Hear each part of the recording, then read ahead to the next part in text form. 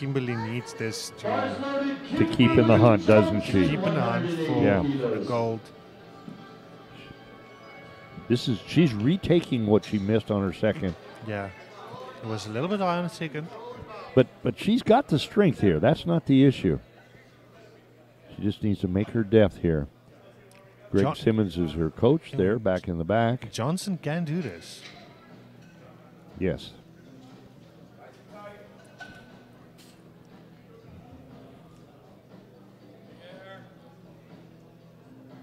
Okay, good, solid, tight.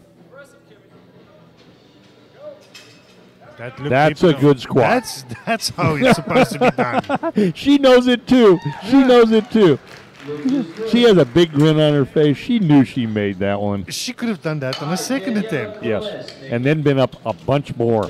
That was a really, really that that one looked. She had a good ten kilos left. Taylor only getting one lift in, that would affect. Uh, that leaves the door open for Kolesnik.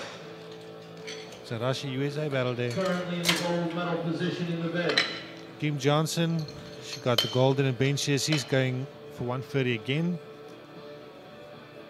I wonder what she's listening to on her headphones there. Taylor Swift, maybe. Somebody did comment earlier. maybe she's a Swifty. I don't know. Uh, I think after this we'll go in Askins and keep you updated.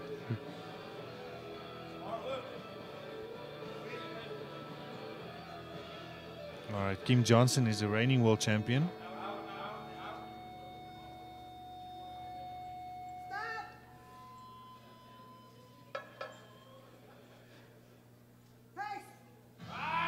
Oh, she pressed that. Oh, that she made that look easy. And that's a good lift.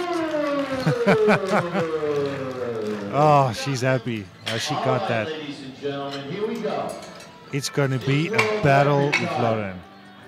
This is a sub-junior. Now we got Daniela world Kolesnik, who's going for a sub junior and a junior. Kimmy Johnson with All the, the 12 and a half kilo jump.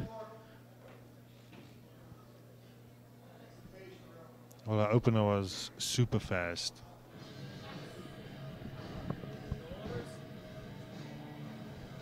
There you go, nice and smooth. Oh. Smile at the top. and three white lights. That was a strong lockout. Just three rights. Oh, this will be interesting.